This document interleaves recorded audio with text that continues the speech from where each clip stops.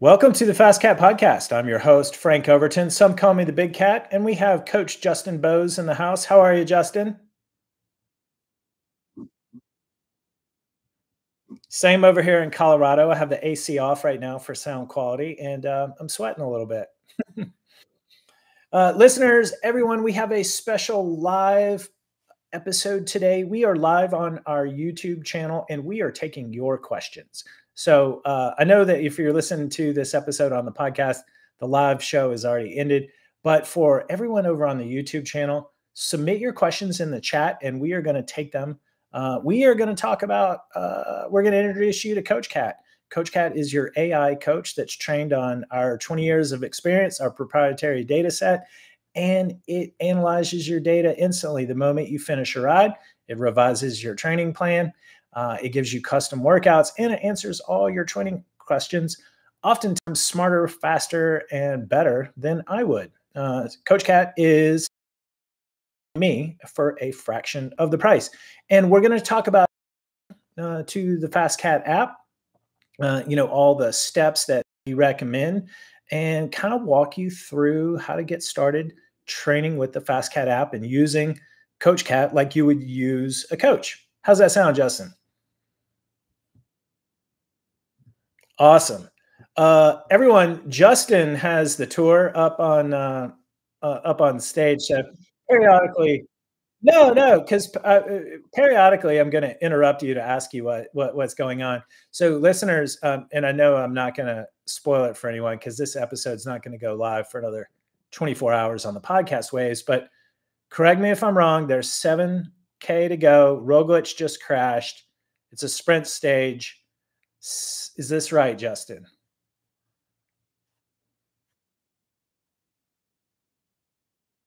Oh, well, you know what? So they can't hear you because I was unable to figure out how to add you to the uh, YouTube live stream. Um, yeah. So actually, Justin, if you could reply to them in the in the chat, that's how it is. Um, that would be wonderful. Yeah.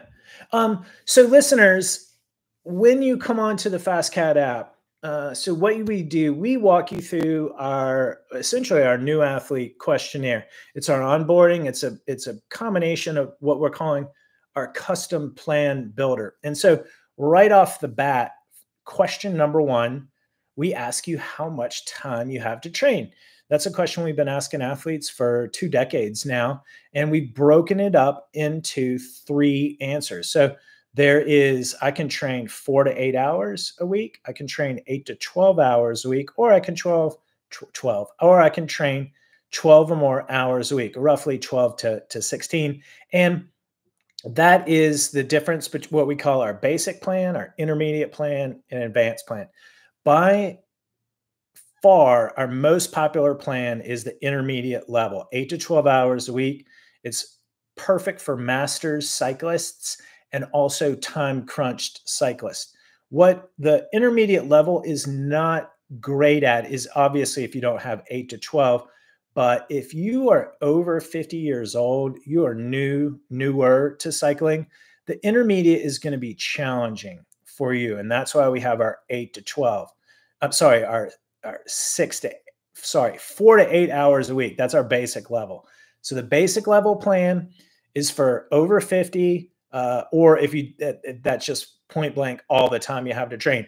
One thing you can do in the FasCat app, you can move between basic and intermediate, intermediate back to basic. You can start off at basic, like over the winter, um, in the spring, maybe when you're on indoor training, and then you can move up to intermediate at any time when you're ready to pump up your your hours. All you have to do, go to the your library and then just reapply the plan uh, same start date, and then just choose intermediate instead of instead of basic. So, bing bang boom, pretty easy. Now, if you uh, are young and you have more time to train, our advanced level plan is advanced. So, do not recommend it for any over 50 athlete. Not even me. Not even not even if I wasn't working and I had all day to to recover. Um, it's just uh, it's just an aggressive plan, and the recovery is balanced for younger riders. So one of the benefits of a properly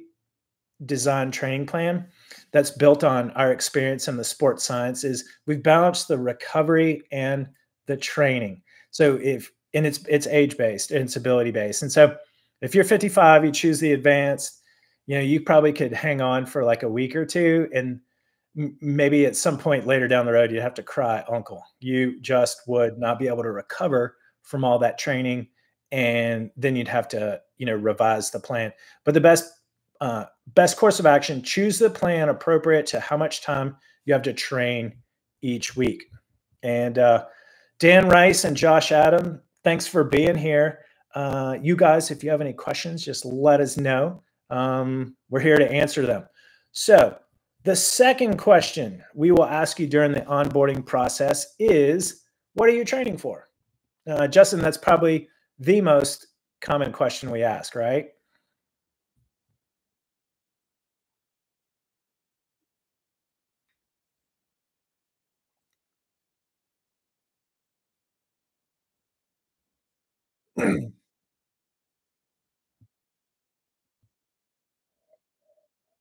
Mhm.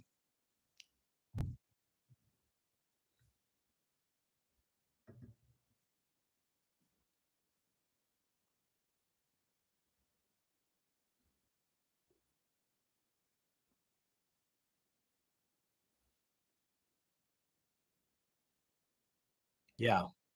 Yeah.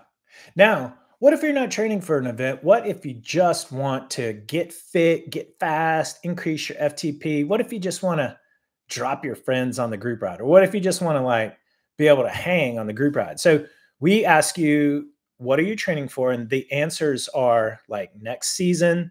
Um, that would be like if you're already looking towards 2025, or we ask you for an upcoming event. And that's what Justin was just talking about, like road, gravel, mountain, fondo, crit, time trial, all the things. Uh, and then the third answer is, you know, it's improve fitness and and beat my friends. That's like I'm not necessarily competitive or you know training for an event, but the group rides and just my enjoyment of my cycling with my friends is what I'm I'm training for. And so that that's really really important.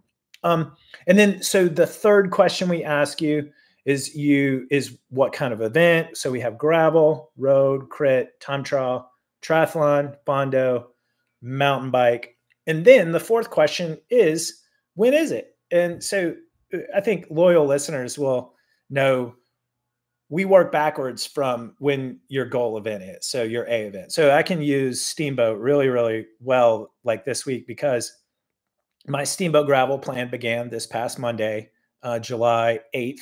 The Steamboat Gravel event is August 18th. Um, so if you you enter August 18th, and then what uh, our custom plan builder will present to you is, hey, here's our Steamboat Gravel plan, and would you like to apply this to your training calendar? You're going to answer yes, and then that plan uh, is entered into your uh, training calendar. And then you have a step by step, day by day, extremely specific what to do uh, for your training, when to rest, uh, when to do intervals, when to do endurance rides, uh, when to do yoga, when to uh, do foundations. I was just riding with a rider yesterday, Justin, and we were talking about Steamboat, and he was telling me last year his back gave out. And I said, Well, I have just the fix for you. Yeah. Yeah. Everyone, if you can see me on YouTube, when you're sitting on that saddle right there and you're riding over rough terrain, you're riding on a jackhammer. And you know what takes all the shock is your back, and you got to strengthen it up. And uh, these long gravel races are notorious for wrecking your back. And so the Dr. Eric Goodman Foundation's routine that we prescribe in our training plans every Monday and Friday. It's 12 minutes. Do it every day. No back pain ever is the famous quote. It strengthens your back and basically you won't have to slow down uh, later in the race uh, on account of your back. So that's that's the goal. And, it, I have put that. I have been uh, a a star athlete for that and a not a star athlete. So like when I did the BWR Arizona this year, I'd been lazy and holy cow, all the whoopie doos on that course, I like had to ride slower. So it was painful just on account of my back. So everyone do your, do your foundations routine.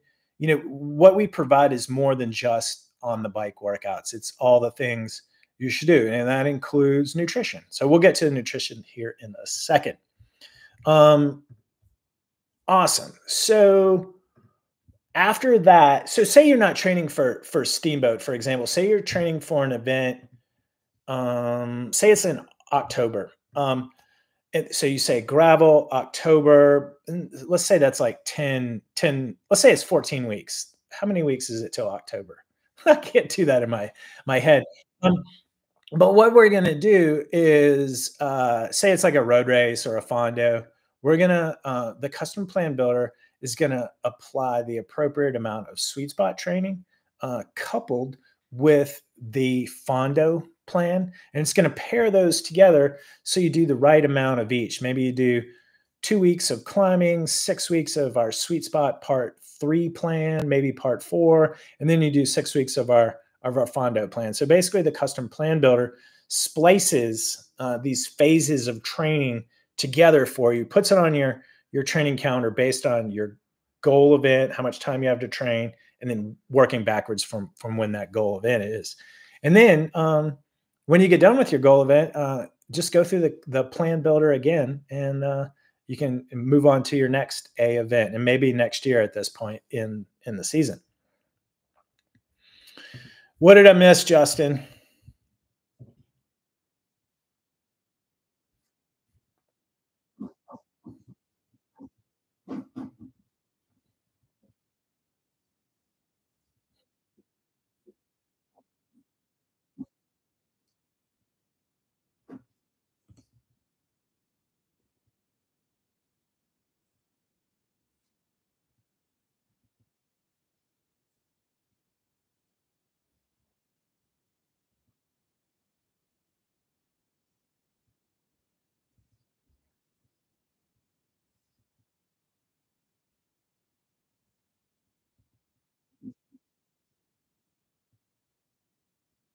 Yeah.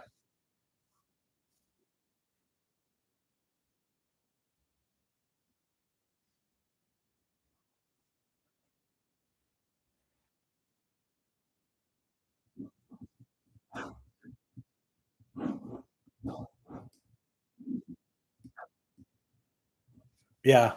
Awesome. Uh, Dan Rice, Dan Rice asks in uh, the YouTube comments, is the platform optimized for cycling or does it work for other sports like triathlon?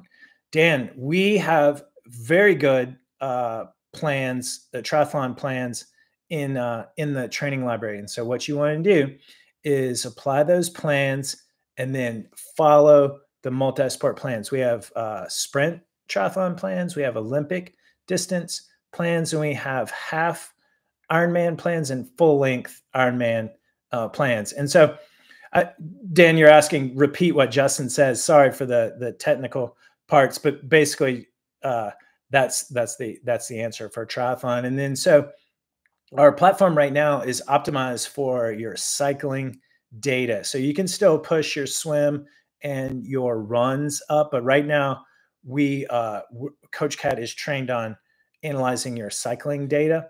And this is actually a good point. Coming down the pipe is sport specific thresholds. Once we have sport specific thresholds, such as your running threshold, then Coach Cat will be able to speak to your run data, uh, give you feedback on that.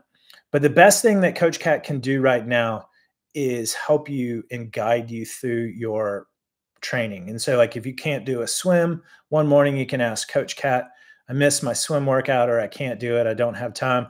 Can you help me revise my plan? And that's like the biggest thing that that Coach Cat can help you do with regards to your your triathlon training.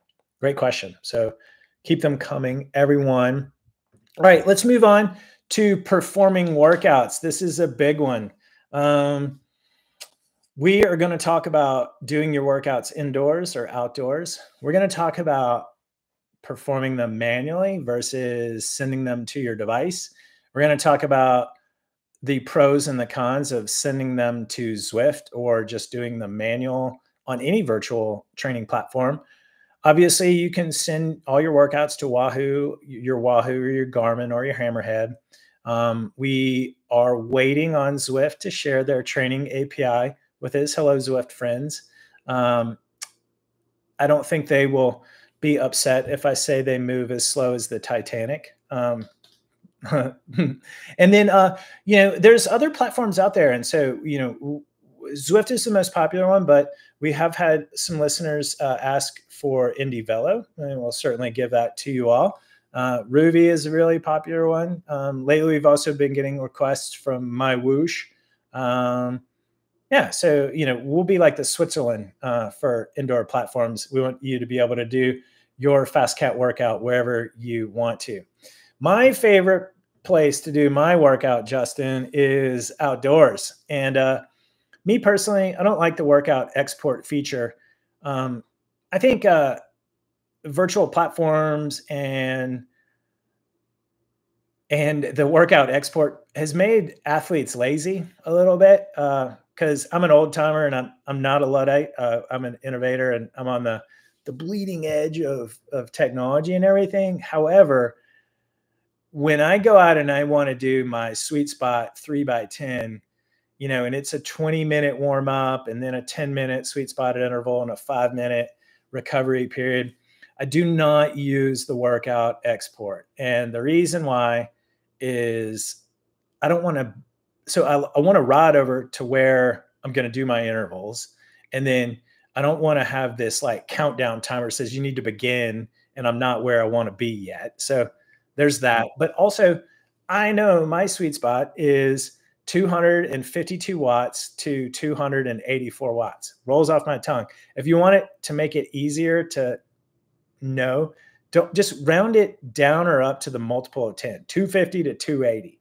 And so everyone go to they say cycling is a cerebral sport this is what we're talking about go once you have your ftp set go into your profile go to training zones and then just look at your training zones. The ranges are there. Um, you should reference uh, what uh, what training zone you're targeting in your intervals on a particular day and then you that number should roll off your tongue. Before the workout export feature, Justin, we coached plenty of athletes and we noticed, you know, probably around 2013, 14, right before the workout builder came out, athletes were starting to write their intervals on their hands. And then some would even write it on pieces of tape and put it on the, uh, you know, the stem of the handlebar. And what was happening is coaches were making these workouts way too complicated. They, you know, over unders and crisscrosses. There's a time and a place for those, but you know, all these like sprint here and in five minute max effort here. That's like we don't design our training that way. Uh, training should be simple, easy, and easy to follow.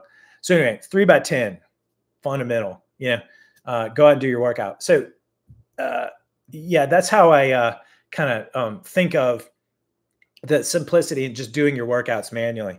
So um, Dan Rice asks, tri- triathlon function. So Dan, triathlon functionality is is available for cycling, um, and then swimming. There's not much data, so just do your swim. By and large, everyone, if you follow a plan, you will get faster, and you don't need all this tech uh, to to do it. It sure is nice, but all you have to do is just do the workouts. We we write out in the instructions how to do your workout, and all you have to do is go out and do it a lot of the data has also made us a little bit lazy and you know thinking that uh, you know you need to export this and that but um yeah all you have to do is follow the plan uh, anthony asks pretty sure if you ask indieVelo we could have this in a week. You are right. I actually had a phone call with george a couple weeks ago. Very nice fella.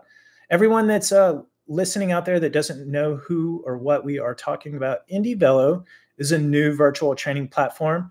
Uh, it's designed by uh, a fellow by the name of George. He is a physicist by training, and he has figured out how to make drafting feel lifelike in a virtual platform. And that is their like claim to fame. And the amazing thing about indieVelo is George has done all this himself. And it's they only started doing it last summer. So they've been live for about a year now. And definitely looking forward to seeing what uh, has what's coming down the pipe with with them. And you're right, Anthony George did share uh, their API with us, and we have put that on our product roadmap. So we're going to bring that to you all before the indoor riding season starts this fall. But right now, also from a coaching standpoint, we think you should be outside right now. Uh, you know, so so whenever we get questions about doing your workouts on Zwift in the middle of the summer, we understand if you live in an urban area where it's not safe to ride your bike, or or you just need a super time efficient workout.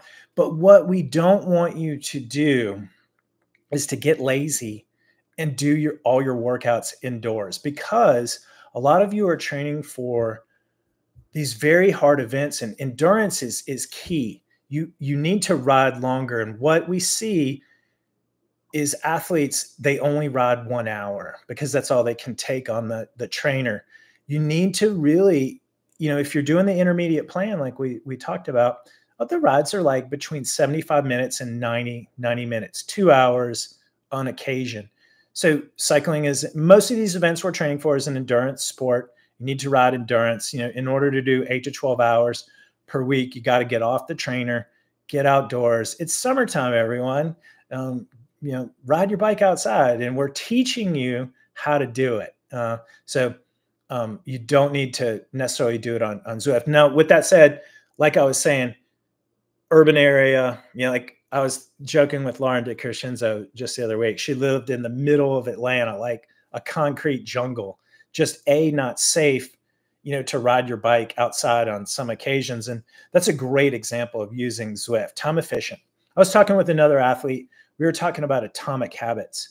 And what atomic habits is is lowering as much friction as possible to actually doing the thing. And so you know zwift and all virtual platforms are a wonderful atomic habit because you got your bike set up you're ready to go you can get on at 4 a.m 5 a.m jam out your time efficient workout, get off, eat, shower, go to work, you know, do do all the things.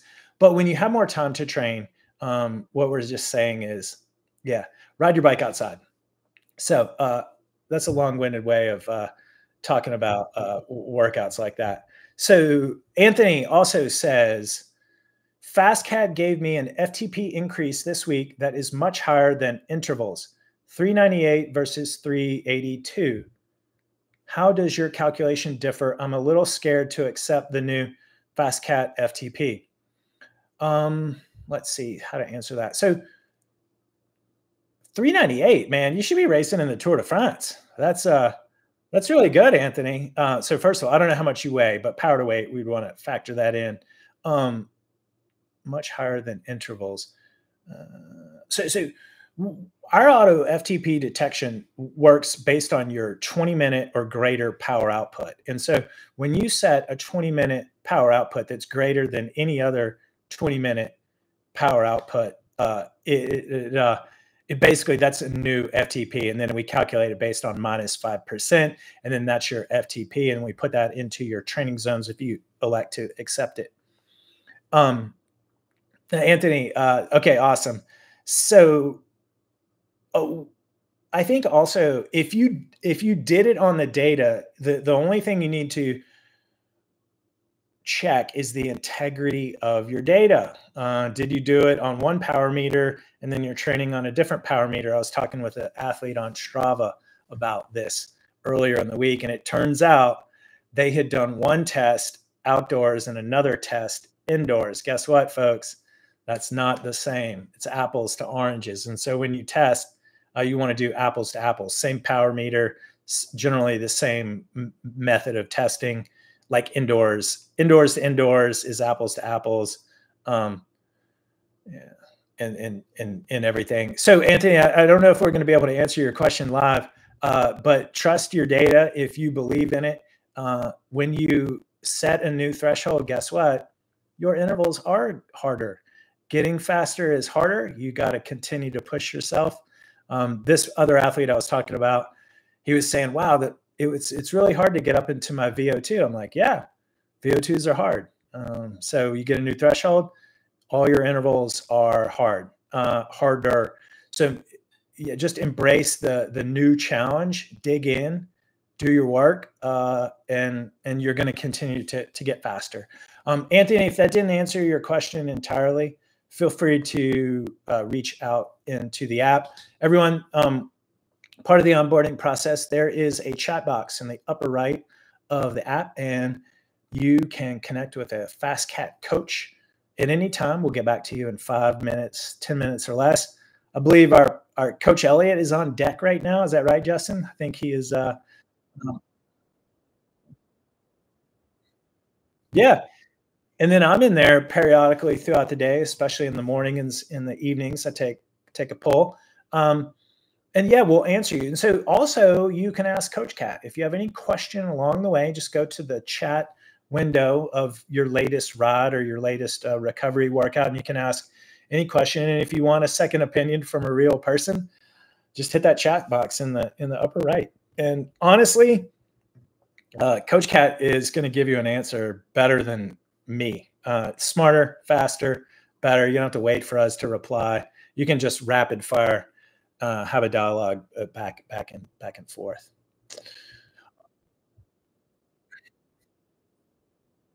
Yeah.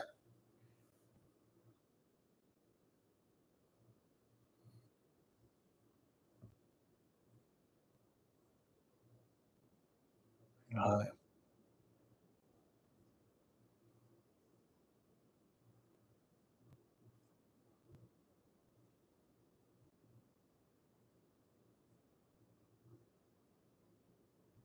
mhm.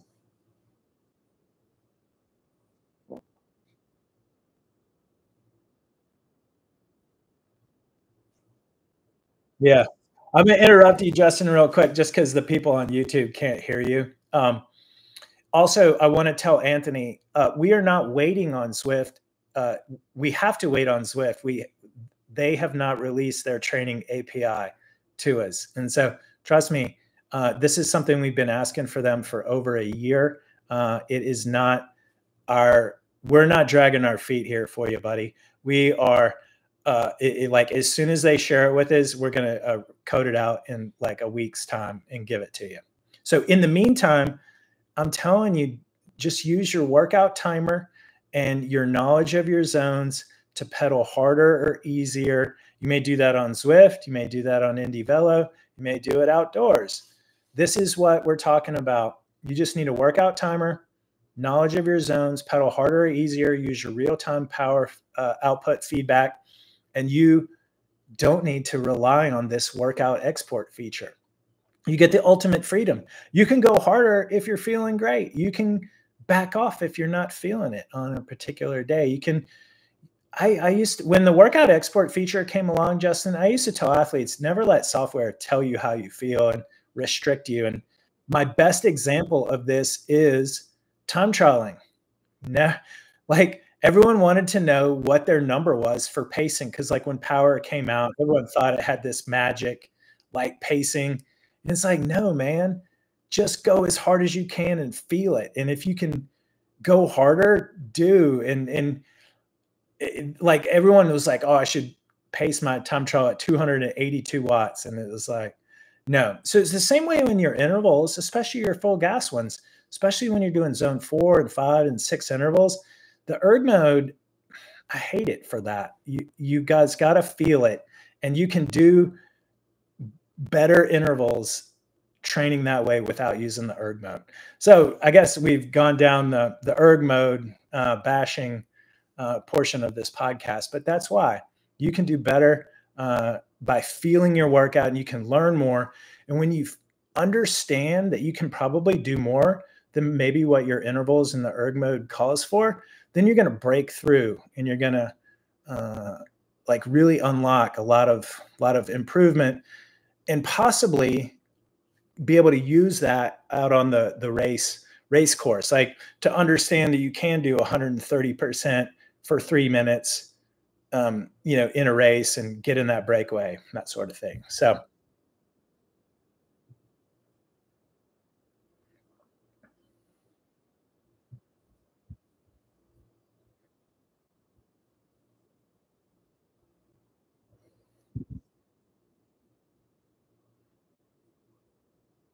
Mhm.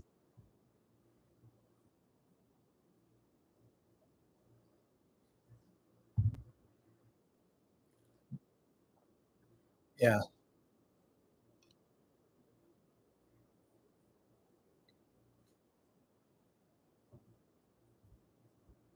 Yeah, yeah. That's right. You know, another great example is Tabata intervals, and Tabata intervals are those, you know, for everyone out there, it's like 20 seconds on, 10 seconds off, eight reps, or 40 seconds on, 20 seconds on, eight reps. Maybe you could do six reps, but they're they're hard and you essentially go to failure during each set. And if you're on the erg mode, it's like you can't even complete the interval set. So because we prescribe Tabatas at 170% of your FTP and you it's they're really hard and by like rep 5 6 and 7 you are really struggling to hold 170 and if you're on erg mode and, and it holds you at that you know you're forced to pedal like 40 30 20 rpms and then it, you just can't do it. So you got to turn the erg mode off for the tabatas. And honestly I think it's a cruel and unusual punishment to have athletes do tabatas on the indoor trainer. I mean, you got to get outside for those bad boys. They they're hard, and, and doing them outside and to feel the acceleration uh, and the wind in your face and the power uh, is the best way to do intervals. It, like the best place to do intervals is, in my opinion, a like pretty much a flat road, maybe one percent grade that's that's it. Don't do it downhill. Sometimes flat roads are tough because you get two on top of the gear and you kind of spin it up and the power falls when you're happening when it's happening. But by and large, like a very shallow grade, like one percent or, or, less. And uh, but yeah, try not to do tabatas indoors. But if you have to, that that's fine. Just turn the erg mode off. Yeah. Um, all right, so we are still talking about doing your workouts uh, indoors or outdoors, performing workouts. You know, one other thing I would want to mention is our uh, training methodology, our coaching methodology is some days you're going to do structured intervals, some day you're going to do endurance rides. And when you do endurance rides, that's generally like zone two, 1.5 hours. You don't need to export a workout for that. You just know, hey, my zone two is 112 to you know uh, 140 watts or or by heart rate 100 you know 70% of your heart rate plus or minus. And um and then on the weekends we very rarely prescribe intervals. That's when we have athletes get in their endurance training. We have a lot of uh, simulation rides if you've been listening to the podcast lately or we give ots rides. And ots rides are the ultimate freedom where we let athletes ride in zones two through sweet spot uh, sometimes, and we ask them to achieve a certain amount of work. So, like 150 OTS or 200 OTS. And a lot of that OTS is optimized training stress. It's a metric based on the duration times the intensity of your training from your power or heart rate data. And what I like about OTS is we can prescribe endurance sessions uh, based on the amount of work we want you to do. And we know from analyzing power data and heart rate data uh, from these events. Like I can tell you, if you do such and such fondo, you're going to do a 350 OTS. And so we want to have you do that in training. Or if you do the unbound 100, that's going to be an OTS of 400, for, for example. And so we prescribe training in that. There's no intervals, but you got to go out there and do the work. And uh, it's really nice. It's fun. You can do them on a group ride with folks. You can do them solo by yourself, flat terrain, hilly terrain. There's a lot of freedom and flexibility that I believe is super important uh, for training. And uh, that's like, that's how we prescribe, uh, yeah, the, the endurance ride. So there's that. There's nothing to export in that, even if, you know, we do. Coach Jake has got a great video on our YouTube channel of doing a sweet spot 200 OTS ride on Zwift. And uh, yeah, he did it. Uh, and a lot of athletes do. And, you, you know, there's nothing to export. It's just, it really comes down to sitting on the, sitting on the thing and doing the work for that period of time. Um, a lot of training just comes down to work and time. You just got to put your time in. It's not complicated. And it, Jake makes it all funny because, uh, Jake is Jake. But uh, yeah, you just I think uh, his 200 OTS ride took him. Uh, I think it was like two and a half, three hours, and the time goes passes quicker the harder you ride. But the harder you ride, the more hard it is mentally. Uh, so there's a, there's a balance, and that's when YouTube or Netflix or Spotify or whatever entertainment helps you. Um, oh yeah. So uh, for a zone two outdoor rod, how much does it matter if you have zone one, zone three, or sweet spot mixed in if the average ends up in zone two? Uh, yeah, great question. So I think uh, there's two answers. Uh, there's the five gold star way. It, you know, if you just do your best to, you know, keep your power within your zone two. Say your zone two is between 170 and 210 watts. Th- that's like a great way. But realistically, like if you go up a little undulation or downhill, you don't want to like slow down on account of not exceeding 210 watts. It's okay if you go up higher for one or two or three seconds. That's just how power is, uh, realistically. And it's so different than the, you know, riding on the indoor trainer. So um, it's okay if you even get up in to zone four, five, and six just for a little bit, you know, just to carry your momentum. You're not going to slow down in a race uh, because you're trying to stay within a particular zone. That's not how cycling works. And that's where cycling in the real world is different than you know, zone based training. So um, it's okay. Power is going to bounce all over the place, especially in a even in a zone two ride. Um, but as long as you don't like, you know, stay on the gas and sustain like, you know, sweet spot for 10, 20, 30 seconds, um, that it's totally, totally okay. Same way with going down a down a hill. Because unless you live in a super duper flat area, uh, it's just kind of the nature of training outdoors. And then everyone, uh, I've had athletes say, I'm training indoors so I can do my zone two workout perfect. It's like, no, no, no, no, no, no, no. Like, there's no such thing as perfect zone two just because you stayed between the high and the low range of your your zone two. It's it's totally okay. So um, I do zone two rides in Colorado, Justin, and you come back and it's the the power is it bounces all over the place. And it's but what you want is kind of like what Anthony suggested is at the end of the day, you, the the time that you were trying to stay in zone two actually averaged out and fell within that. And if that's the case, then yes, you've done your zone two ride successfully. Yeah. Yeah. Right. Yeah.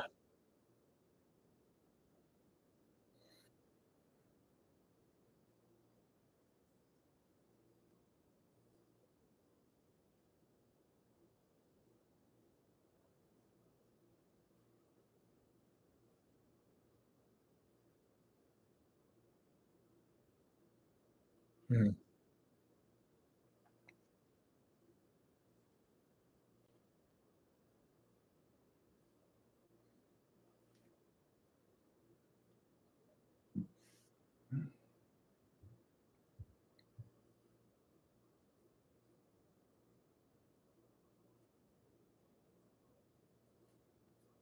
Yeah. Yeah. Average it out, everyone. Shelby Nestor asks, is it in the future plans to have FasCat, Coach Cat, remember your history? As an example, I had a wreck and took a week off from riding. I had to remind FasCat that I was coming off the injured list. Shelby, great question. The answer is yes, and it is happening actually quite soon. What um, everyone, what Shelby is is referencing is what's called memory in in AI, and uh, we are giving Coach Cat the ability to remember that you did have a wreck last week, or you got sick, or you uh, were injured, or that you, on the other hand, you know, were crushing it in in your training, like you had a you had a, set a new FTP. Um, and so the way that we're going to do that is with a new 2.0 UX that's coming down the pipe uh, very soon. And what that we're basically going to take all your threads, Shelby, and they're going to live in in one thread. So imagine like your text messages and you know you can scroll back in the history of your text messages and see what you were you know saying like four weeks ago six weeks ago um, that's that's how we're going to give coach cat the ability to remember uh, that you did have a wreck last week and then um, give you coaching advice in the context of what what you're asking for so um, for right now apologies you may coach cat is just not smart enough to remember that's a kind of a, a easy way to kind of put it right now so shelby you just have to keep reminding Coach Cat of that for the for the time being. Um, but it's uh, being coded in uh, real, real soon. But yeah, great question. Keep them coming, everyone. Um, let's move on past performance performing workouts. But I think like the the biggest thing is don't let technology hold you back from just simply following the plan. You can go old school, and old school is better school in in many, many, many cases. Um, all right, let's talk about using Coach Cat. Uh, ref- like real, real quick. So, um, everyone, we covered step number one is to use the custom plan builder. Uh, get your custom plan, apply that, and then use Coach Cat to guide you along the way. Um, what Coach Cat can do is obviously you're going to get your data an- analyzed instantly. This is something I've done close to a million times over the past 20 years.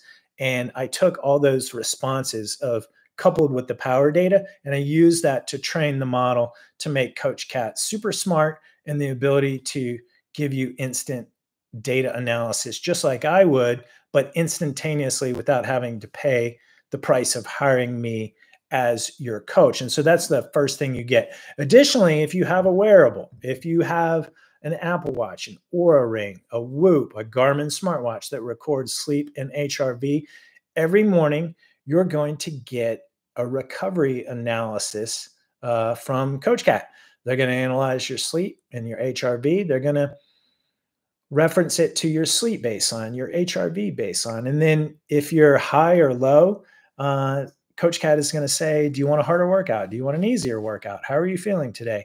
And it gives you the opportunity to match your workout to your recovery. Um, and so we all know that when you're pushing the envelope and trying to train hard, sometimes we don't recover as much as we want to. And then you need to modify your plan downstream. This is the first attempt to take how much you recovered based on how much you've been training and then revise the, the plan. So use Coach Cat that way. If you don't have a like a wearable, it's okay. Just keep trying to follow the plan, but be flexible within your, uh, you know, based on how you're feeling. You can go into your workout uh, from the previous day and type in Coach Cat. I don't feel that well today. I'm feeling a little tired. What should I do? And then you're going to get advice. And Justin, that's kind of like what we do as coaches. Uh, but a lot of times we as coaches, you know, because we're real people, and we don't we keep bankers hours, everyone. We work Monday through Friday, you know, nine to five. And on Saturday morning, oftentimes when you need this information the most, you know, it's not like we're not at work. Uh, we're not in the office. And um, yeah, so so I mean, so this is the advantage of, of having Coach Cat. You, you get instant uh, feedback uh, right away, and you don't have to worry about upsetting your coach. I used to get in Colorado. It used to blizzard and oftentimes, you know, we'd spend all Friday afternoon revising training plans from the weekend when we had like these big long endurance rides planned. And I mean, it was a whole thing. And uh, and sometimes sometimes we'd be like, all right, let's keep the plan the same because maybe it's not going to blizzard. And sure enough, it blizzarded overnight, and then you'd wake up to like a foot of snow, and then you wind up working a few hours on Saturday morning revising training plans. Uh, this is this is the advantage of of Coach Cat. You get that instant revision uh, based on what's going on, and everyone. Eventually, we're going to uh, code in uh, some weather APIs, and we're going to be able to prompt you. Hey, there's a foot of snow outside. Here's your substitute workout uh, for Zwift because you can't ride outside today. Uh, so we're changing it up for you. It's totally within our um, product roadmap uh, easy. Same way with air quality. Like the Crusher and the Tushar got canceled this weekend due to a forest fire. Feel really sorry for all the athletes that train their patooties off for that. But you know, remember a couple years ago in California, the fires were really bad and people couldn't exercise outdoors and everyone's wearing masks. But um, we can plug in to the weather uh, AQI index and basically be able to tell athletes don't train outside. Here's your substitute indoor uh, workout. That's also that's happening. Um, Zedba DA says my HRV today was really high. I read super high HRV can be the result of tiredness, especially when HR heart rate is low. It looks like Coach Cat treats higher HRV always as a sign of recovery. Well, I think Zeba, what Coach Cat is trained on is mostly your HRV baseline. And so we're going to establish a rolling seven day HRV baseline because we know one extra high reading or one extra low reading does not necessarily mean you should train what you're, you know, change what you're doing uh, on that particular day. We've all had great races uh, with high or low HRVs. So you can't let a single reading, high or low, really dictate what uh, you should and should not do that day. Really, um, it's listen to your body. If you're trending lower day after day after day, Coach Cat is trained on that to say, "Hey, what's up? What what's going on? Let's back off your your training." Similarly, if you're trending upwards, Coach Cat is going to be able to say, "Wow, you're recovering really, really well. Um, let's eh, give you the green light to maybe train harder or go longer for for your endurance ride." So, Zebda, what I would encourage you to do is to uh, ask your question to Coach Cat right there in that recovery analysis that you got, and and ask the specific question, especially in re- in reference to what you want to do today. And it's like, can you do the workout on your on your training plan, or maybe you, know, should I train harder, longer, or should I change the workout, or should I um, train less, uh, so forth. So um, HRV can be a result of tiredness. You kind of never know. Um, so anyway, um, don't read too much into it. Is I guess another way of answering that question. Mhm.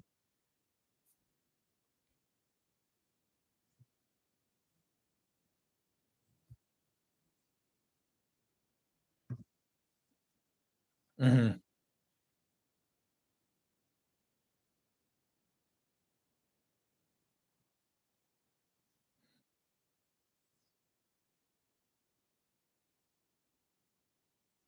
Right.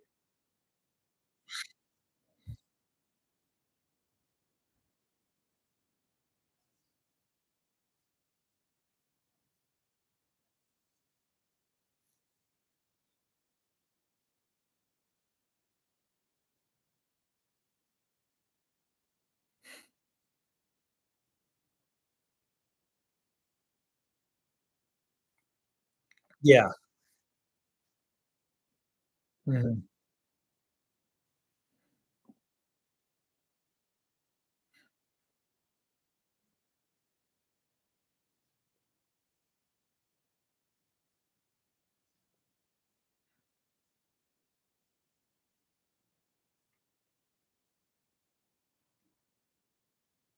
Yeah.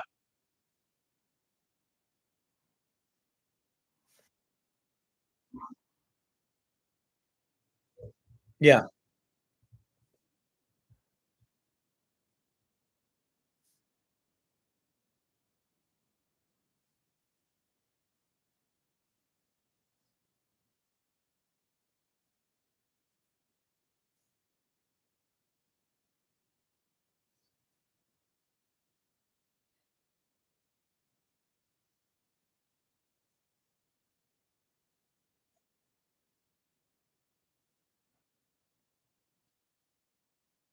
Yeah. Yeah.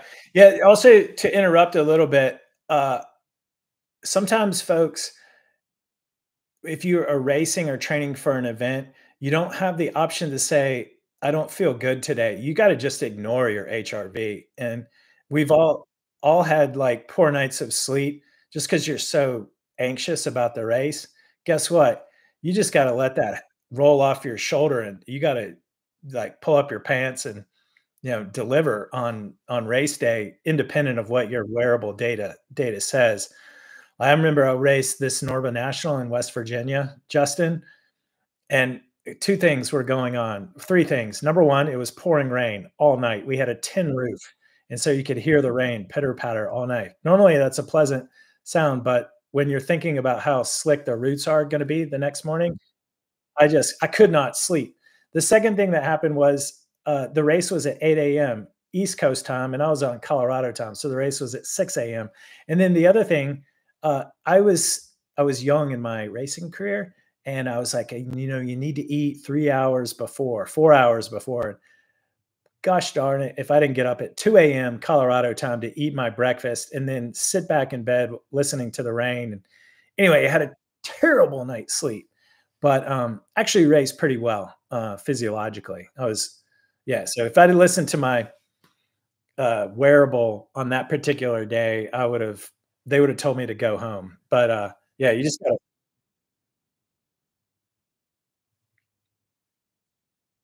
Yeah.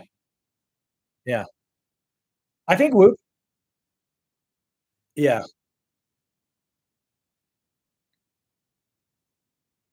Yeah.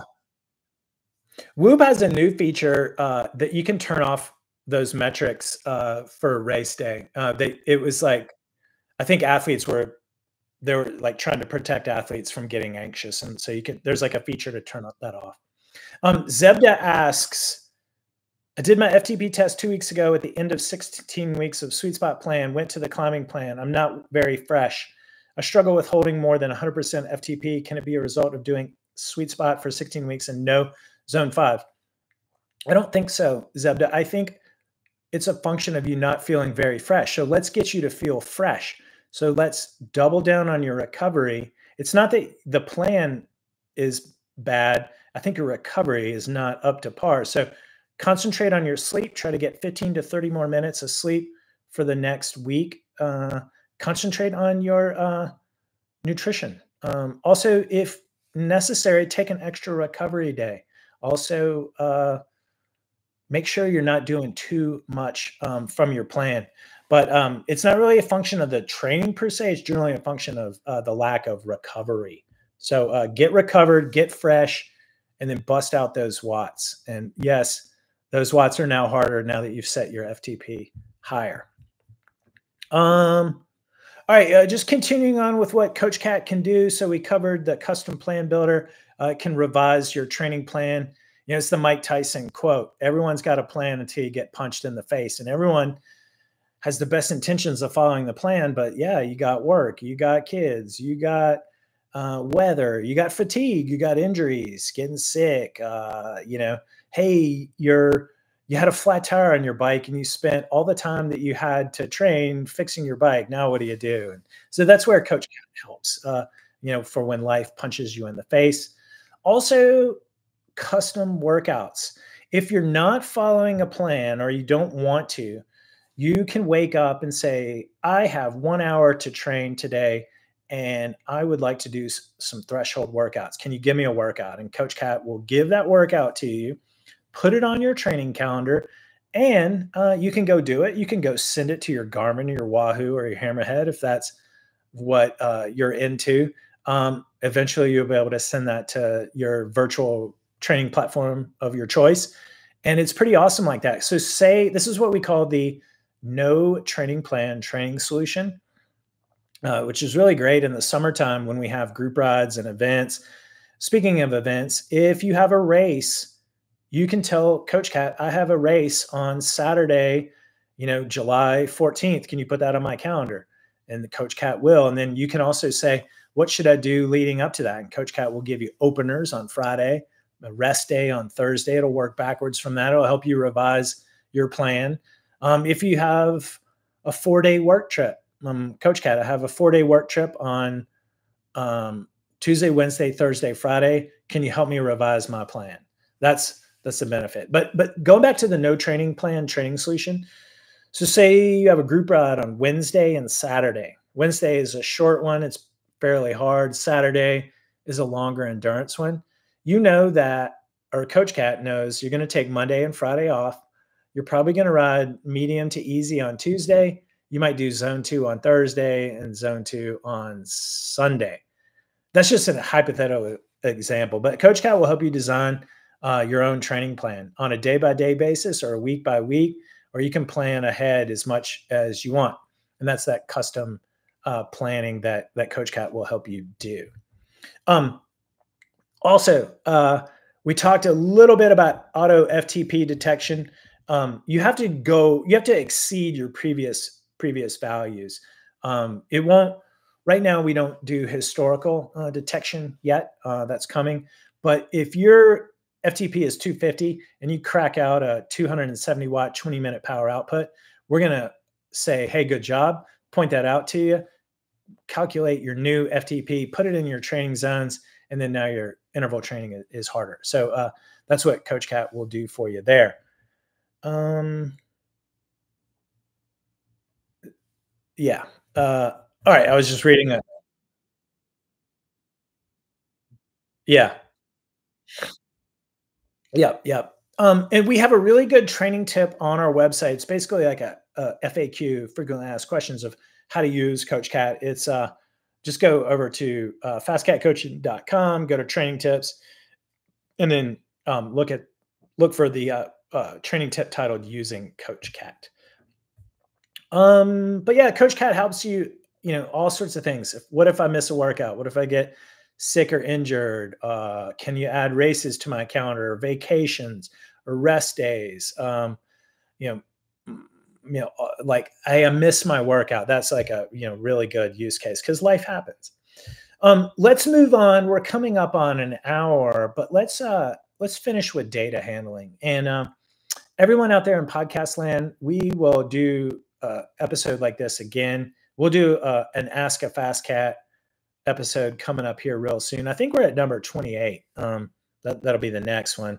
Uh, but we'll also, I really like this YouTube format. So we just need to get uh, Justin uh, access so that people on the YouTube can hear him too.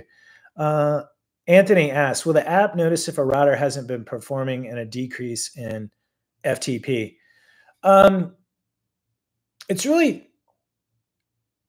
kind of you know the way to answer that question um, is when we say been when a router hasn't been performing i mean first of all you have to define that. Like what does that what has not been performing well mean? I mean we know when you haven't been following your plan that's that's one way of not been performing. But what, what if your power output is lower? I think that's what you're talking about um, a decrease in in ftp um, it's also important to understand what the technology can and, and can't do. Uh, so until you test again, uh, no technology is going to be able to tell you if your FTP has decreased. You may feel it, um, but you you need to test again. And so if you tested at 300 watts in April and you tested again, all things can you know the same, and you tested at 280 watts, yeah, your FTP went down. Uh, simple as that. And then you want to look at why. Uh, and so, um, yeah, that that's the answer. I think right there. Would identify an FTP decrease? Yes. Yeah. So, um, yeah, yeah. So uh, I'm just thinking through the all the scenarios there. But yeah, yeah, you don't really need AI to do that. Honestly, if you do 300 and then you do 280, that's your answer. Your FTP de- decreased more or less.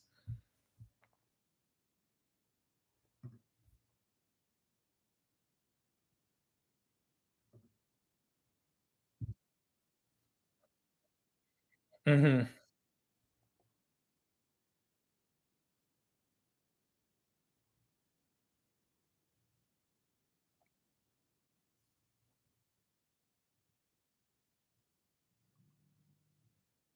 Mhm. Yeah, based on, like, your intervals per se? Yeah. Not at the current moment, um, eventually, we will get to that. I think what you can also do is look at your uh, power to heart rate ratios. You know, if you're doing, if we know your power, your threshold heart rate is 160 beats per minute, and you're doing only making like sweet spot power at 160 beats per minute, but previously that was your threshold power, that would be one indication that your FTP has decreased. The other indication is like how that power feels. Did it feel harder? Then maybe your FTP has decreased. And a lot of what we do as coaches when we have athletes uh, take breaks or you know resume training in the off season again, we'll arbitrarily decrease the FTP. Um, just when I say arbitrarily, it's like we don't test for that. I would never have an athlete do a test just to know that their FTP decreased. That's just cruel and unusual punishment. It's not really productive. Just make it lower. Uh, it's as simple as that. So um, we'll we'll do that as coaches, and and eventually we don't really need to. I never have athletes test down. Um, uh, so, but yeah, eventually we could probably correlate like your training load and training consistency to like an arbitrarily lower FTP just to get you in the ballpark and serve as a benchmark of where to move, improve upon moving forward. But like if you take two months off, yes, your FTP is decreased. How much? We'll assign a, a lower number, and then you'll have a number to measure your improvement from from there. Yeah. All right. Uh, let's let's wrap it up here um, with with data. So super quick. You know, um, a lot of athletes come on. You know, we do not have an integration of Training Peaks. Unfortunately, I wish we did. We asked them for it. Uh, they said no. Um, it's kind of a bummer. But you know, the things that that we tell athletes, there's a bunch of things that you can like you don't want to just go over and look at your plan on training peaks because you're missing out on a lot of features that that the FasCat app has. Number one, we just came out with the desktop, so you got you know a full calendar view of four weeks or more. You can scroll down; it's very easy.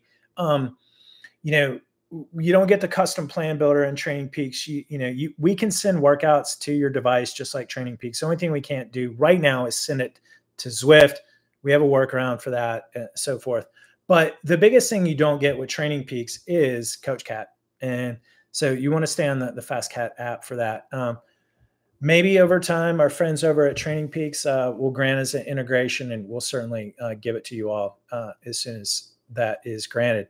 Um, but yeah, so for the moment, we we have an Apple Watch integration. So uh, unfortunately, so Apple Watch is a good uh, wearable device. That's why we integrated it with with the FasCat app. We recorded a podcast on it. We've got a training tip on our website about it. We are able to take in your sleep and your HRV, Apple Health, uh, Apple Watch activities. What we can't do, unfortunately, not yet, uh, but it's going to happen real soon, is record your activities. Um, there's a lot of data that Apple Watch records, and uh, our backend is a little overwhelmed when we get all that activity. So we had to just really uh, choose sleep and NHRV. But if you go out and you do a run or you do a swim or a ride and you record that activity with your Apple Watch, yes, we will be able to take that in uh, soon, but not yet. We don't have a Peloton integration yet. Uh, same way with Strava. Um, but those are all things on on the roadmap uh, for sure. What's another integration we don't have, but we we, have thought of, Justin, I, in case I'm forgetting any. Yeah. Coros, the new computer. Yeah.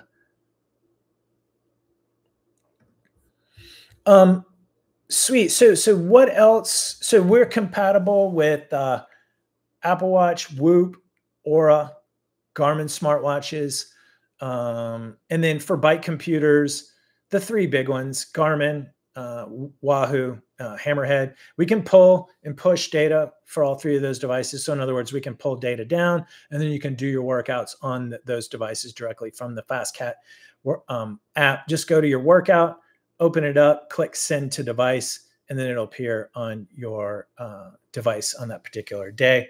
Like I was saying earlier in the podcast, I do all that manually. I don't like to have this countdown timer and I know my zones and it's easy as that. Um, but th- nevertheless, if, if that's like a feature that you want to have, Um, that covers data handling. And you know what? I think that's a good good place to stop. What do you think, Justin? Super. Well, everyone out in podcast land, thanks so much for listening on our YouTube channel. Uh, thanks for joining us. This was the first one we've done in a long, long time. Um, things to improve upon is to get Justin over here so that you can, when he talks, you can hear him. Um, I was Googling it um, this morning and last night. Uh, so uh, it's possible we just needed like a third party app integration. Uh, real quick, Rex the dog says, thanks for the overview, Frank. I'm glad to hear you're adding features for tracking historical workload and ability to shift, adjust future workouts based on life adjustments. Well, actually, that is a, a current feature, Rex. You can do that right now. Yeah. So you can, there's two ways. You can uh, click the workout, drag and drop on desktop and mobile. You can do that yourself, or you can ask Coach Cat to do that for you right now. You just got to ask and tell. So, everyone, we talk about the best way to use Coach Cat is to engage. It's a large language model, it relies on your data and your input. So, if you want something, you got to tell Coach Cat. Uh, if you have a race or you need a vacation day, you got to tell Coach Cat, please give me a vacation day on Friday, January 14th, um, so forth. We have athletes scheduling out uh, their whole entire year uh, using Coach Cat right now, and it'll put all that on your training calendar. So, anyway, uh, just in case you didn't know that, Rex. But yeah, thanks for listening. But we are going to get Justin on the YouTube side uh, little bit of a fail on our part. Uh, so apologies. But for podcast listeners, uh, thanks so much for listening. Um, and we'll be back here next week. Uh, Viva Latour. Who won the stage today, Justin? Do we know?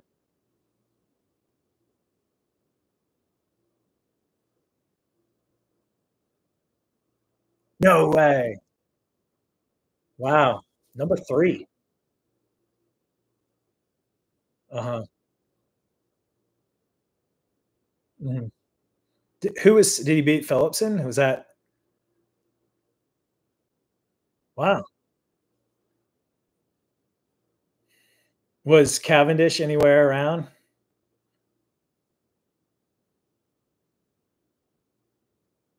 Tomorrow.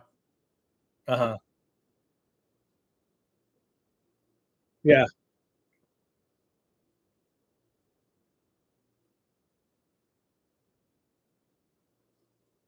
that's incredible. Yeah, number 3, I love it.